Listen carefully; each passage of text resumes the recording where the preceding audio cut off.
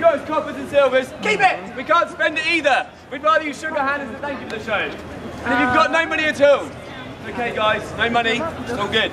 We've been there. We know what it's like to have no money. We truly understand. It's all good. We've both been there. It's all good. That's why there's a cash point just over there. That's just joking. Right. So, ladies and gentlemen, if you've had a good time, you've enjoyed the street show, don't just walk off. Come and say thank you. It's just downright rude. You've had a good time for free. At least say thank you and show some gratitude. But enough of the seriousness. Let's get on with the dangerous stuff. Jamie, are you ready? Yes, Joe, are you ready? Let's go.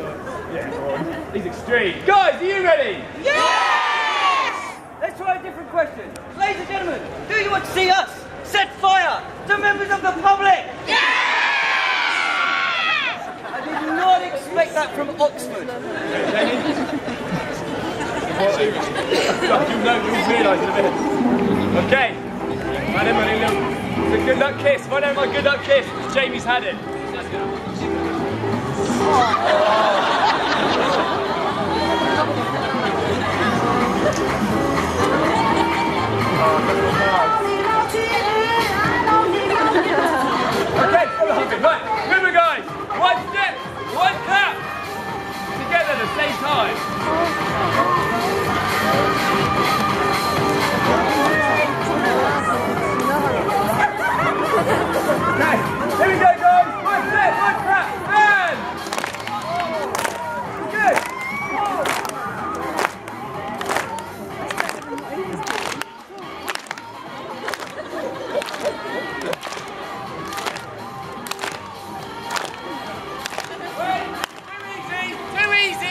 Wait, turn, stop, turn, turn, turn.